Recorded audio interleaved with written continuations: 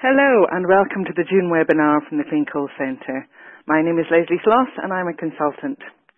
Our monthly webinars are based on our technical reports which are available from our website www.iea-coal.org. Residents of member countries and employees of sponsoring organisations can download our reports at no charge after a one-hour registration. Please visit the website for details. My webinar today is on enhanced coal bed methane recovery. The report has been out for review and will be published very shortly indeed. If you have any questions during the talk, please use the Ask the Question box, which is at the, at the top of your screen there. Um, add your email address as well, and then if I have any issues in answering your question, I can do so later, and I do promise to get back to you. This will be a relatively short presentation on a relatively short report. It was requested that we produced a simple overview of the potential for enhanced coal bed methane recovery. The Clean Coal Centre has produced numerous reports on coal bed methane itself, um, on production, uses, and so on, and these can be downloaded free of charge from the website. Our sister organisation, the Greenhouse Gas Programme, has also produced extensive reports on CO2 enhanced coal bed methane, focusing mainly on the CO2 capture side of things.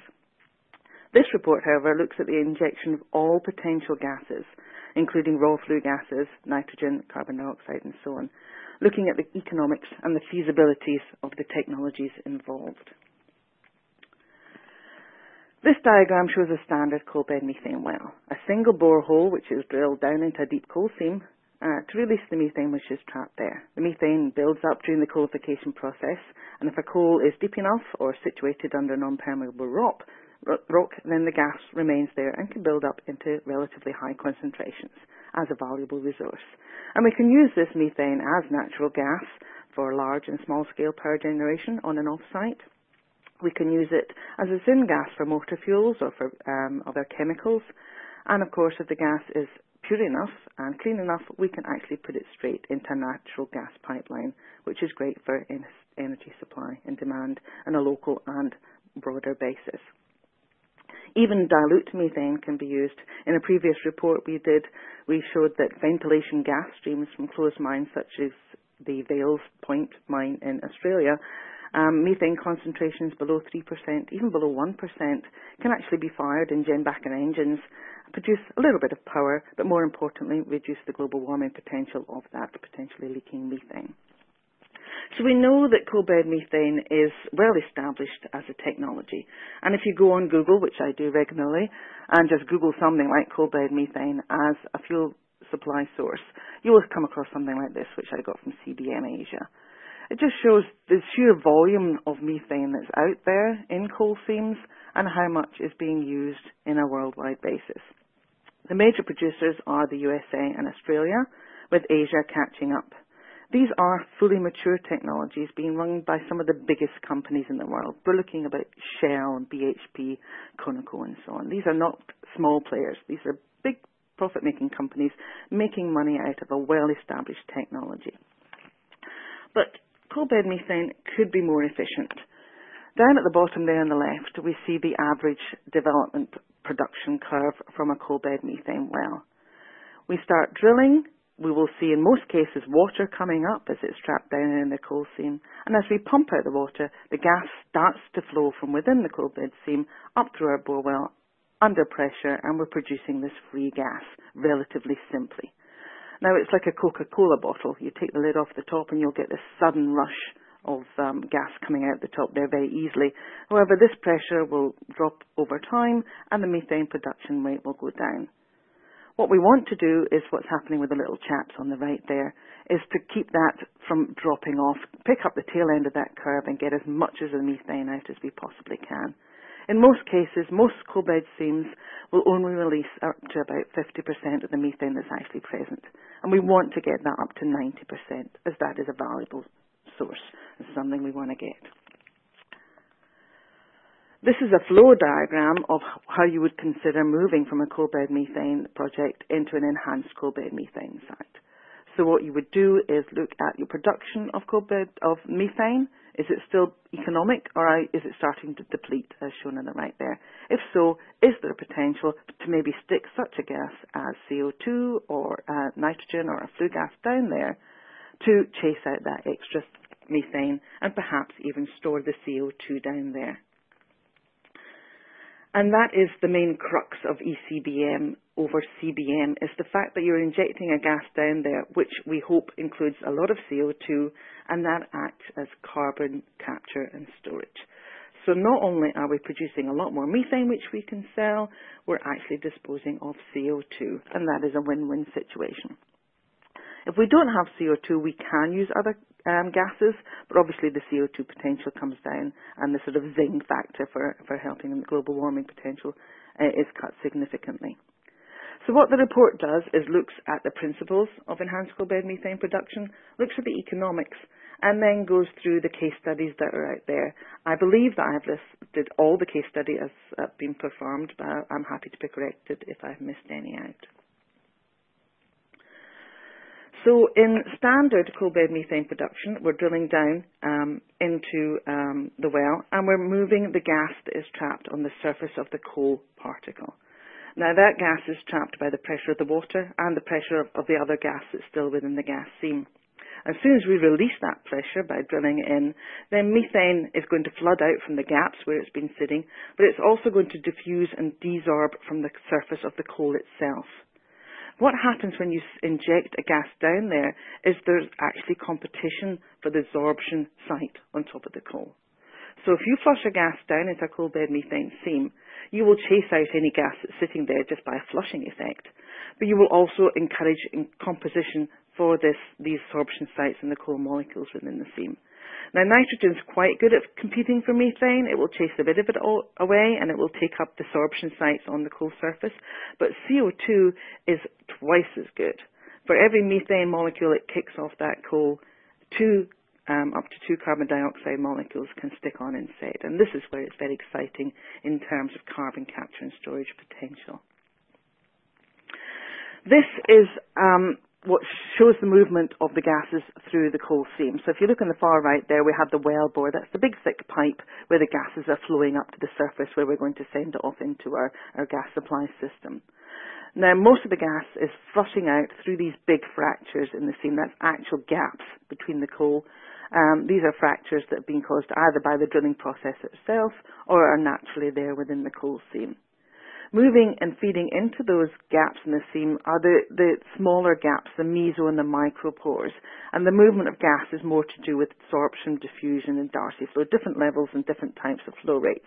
But what happens is as flush, gas is flushed out of the bigger um, seams, then you increase the release from through the desorption and diffusion processes. And as you chase a gas down there, it will compete, as we say, on the surface of the coal, chase off the methane, and hopefully stick there itself instead. Unfortunately, what we see happening in the micro and mesopore scale is that the attachment of the CO2 to the surface of the coal, because it's taking up more space, it's actually causing swelling of the coal. In some cases, a 7 to 8% change in actual physical size of the coal particles in the surface. So what we see is the closing up of the micro and the mesopores, and in many cases actually the closing of the fractures. That means the sealing up of the whole flow system. And so in many cases what the, the problem they've hit is when they inject CO2 down there, everything expands and seals up. They can no longer inject because there's nothing to inject it into, the gaps have gone, and obviously the production decreases as well as there's no gaps the the, the methane to flow back out. And so the hard truth is that yes, CO2 does stick, stick beautifully within um, the, the coal seam that we're injecting it down into, but the coal swelling shuts off the movement of gas after a certain period of time. Now what um, projects have tried to do is counteract this by staging the injection process.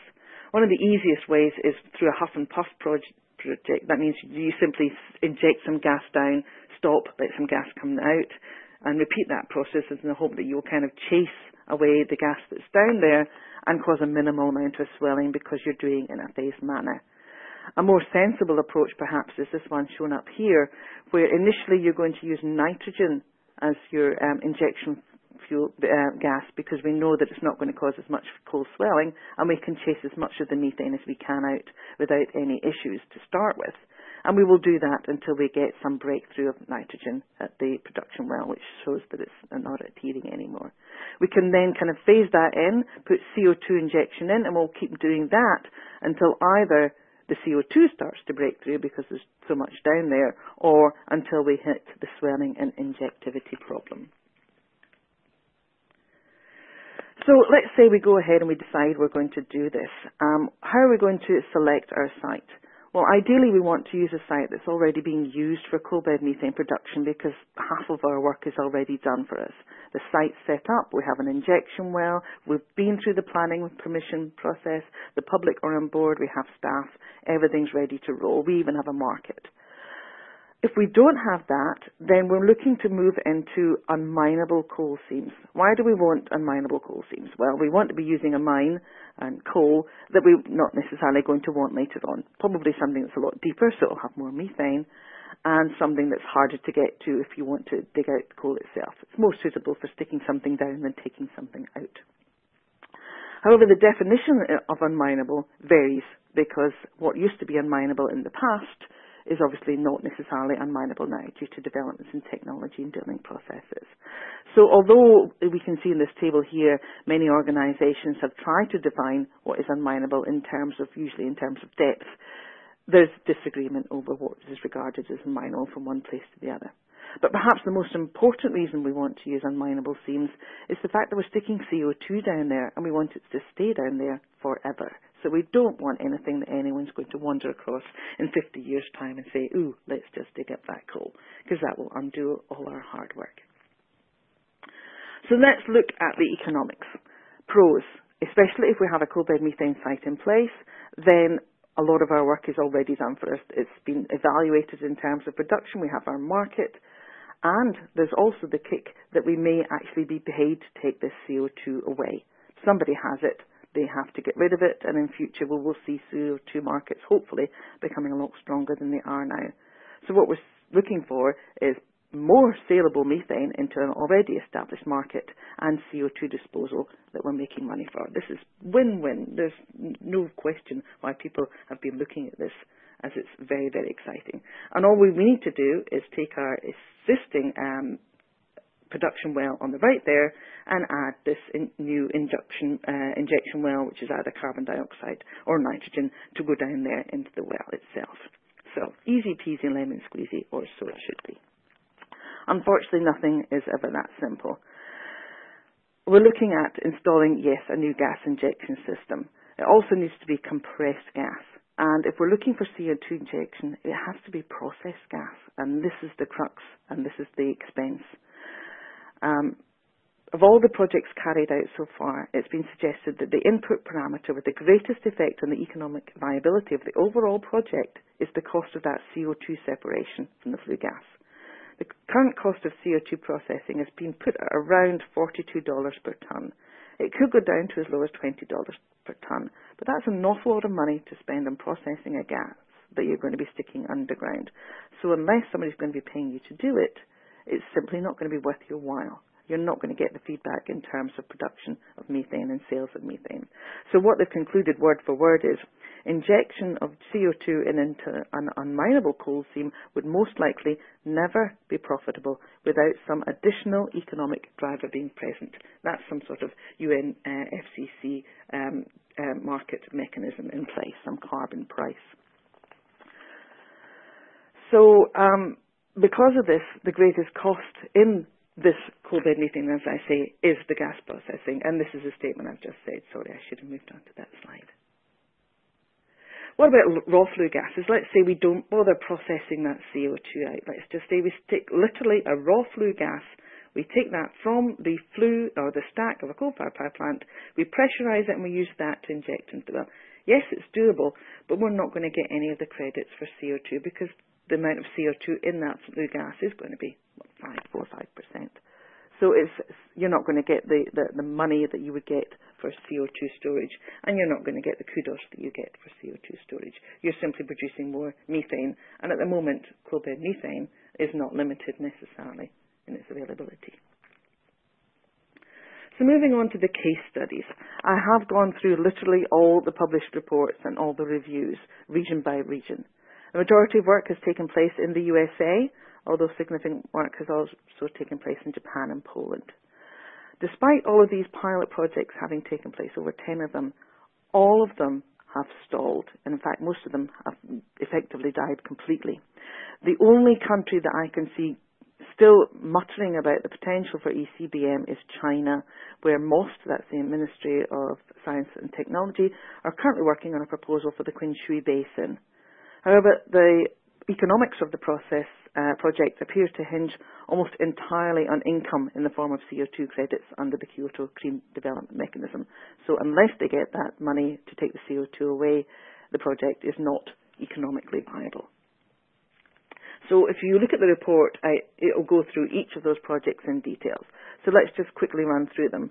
ARC is the Alberta Research Council project, which had over 20 industry and government investors, and it injected over 200 tonnes of CO2 in the first phase. It even went as far to source uh, potential gas, including landfill gas, ethanol plants, acid gas plants, and coal-fired power plants. So it was genuinely looking at taking um, waste gas streams and injecting them down into this uh, big, then Big Valley site. Um, the project was then renamed CSEMP, which is the CO2 storage and enhanced methane production test, and they had two pilot tests at around 10,000 tonnes of CO2. However, it kind of fizzled out, and as far as I can see, this happened when ARC became a more commercial body called Alberta Innovations, and it currently seems to be focusing entirely on oil sands in the region. Presumably, this is more technically and economically viable for them. Um, so it was presumably an economic decision. Moving down to the USA, we have SECARB, which is the Southeast Regional Carbon Sequestration Partnership, um, which had a project for CO2 storage in the Appalachian Basin. Now, this could be huge. They could increase methane production in that region by 70 billion meters cubes, and it could hold over 1.3 billion tons of CO2. So this could be a major thing in terms of uh, proving ECBM potential. And the Al- Allison project there was the first ECBM project in the world, and it was very effective. Um, it got 95% of that methane out. We heard that most um, CBM sites only get 50%. Allison got up to 95%. However, it hit that genuine CO2 swelling issue, where they just couldn't inject anything anymore, and everything seized up due to the coal swelling. The Tanquary project next door was also successful, um, enhancing methane production there while storing 91 tonnes of CO2. But that had technical issues with equipment breaking down and so on, and it just kind of fizzled to a halt. Similar projects in the plains, CO2 Reduction Partnership in Burke County, North Dakota, Pump Canyon, New Mexico, Consol work in Pittsburgh and Upper Freeport have also had issues, some with equipment and others with that CO2 breakthrough or the CO2 swelling. The Pump Canyon project uh, was considered as the most successful ECBM project in the world in terms of volume, as it stored over 160,000 tonnes of CO2 in, in one year alone between 2008 and 2009. Over in China, the APP, that's the Asia Pacific Partnership, have been working with the China United Coalbed Methane Corporation and CSIRO in Australia, as well as JCOAL in Japan, and looking at various blocks, including the Liulin gas block in Shaanxi province and succeeded in injecting over 460 tonnes of CO2 there. That was quite an academic project, so if you want to look at the technical feasibility of injection of gases, it's a good one to look at, as it used a tracer gas to follow the potential leakage and movement of gas within the seam. So they got a good bit of information on the fluid dynamics and also on the potential leakage into local aquifers and so on. They, they proved proved at that stage that it wasn't an issue at that particular site, but of course it may be an issue on a site-by-site basis. Um, China have also worked with Canada in this Qinshui Basin, and that's that um, project that hasn't quite died yet, that is still being considered by MOST. Um, the Japanese project Yubari Seam on Hokkaido Island stored 884 tonnes of CO2 between 2004 and 2007. Again, swelling and permeability put the halt on that one. In India, there has been the talk for CBM, ECBM, and even underground coal gasification in the Gondwana Basin. A lot of blocks being offered for sale and sold, but at the moment there doesn't seem to be that much happening in practice, but it's certainly something to keep an eye on in future. In Australia, the Asia Pacific Partnership did have a project plan for Australia based on the, the Yubari project in Japan, but this, like the others, has stalled. And it seems that one of the issues with the Australian coals is that although there is a huge coal bed methane potential down there, many of their seams are actually already semi-saturated with CO2, which is very unusual as most coal seams are saturated with water. But some of the Australian seams actually have CO2 down there already, which makes it more of a challenge in terms of, of replacing that CO2 with more CO2, obviously. Within Pol- uh, Europe, Poland have completed their RECOPOL project uh, for CO2 storage in the Silesian Basin as part of the European Commission's fifth framework programme. 760 tonnes of CO2 injection uh, completed there. RECOPOL then seems to have mutated into what's now called MOVE CBM, which is monitoring and evaluation of ECBM.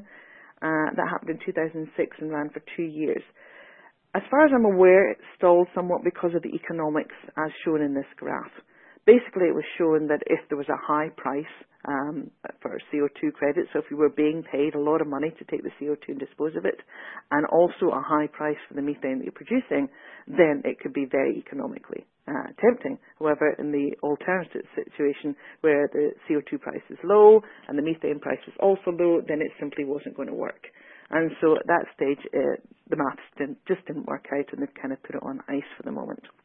There is an awful lot of work happening in uh, CBM and UCG in that region, so there's certainly an awful lot of activity going on, but for the moment the ECBM side of things has certainly stalled. There were talks of projects in Turkey, Germany, the Netherlands and the UK, which I mentioned briefly in the report, but again, none of these really got past the back of the envelope calculation stage. And so to conclude, theoretically and on paper, ECBM is huge win-win technology. I mean, it's a bit of a no-brainer. You get rid of CO2 and you get extra methane out. It, if it worked, it would be amazing. Unfortunately, in practice, it just doesn't seem to work. Uh, as well as technical issues, the coal swelling seems to be the real bugbear. That CO2, as it attaches, which you want it to do, takes up too much space and the coal swells and everything seizes up.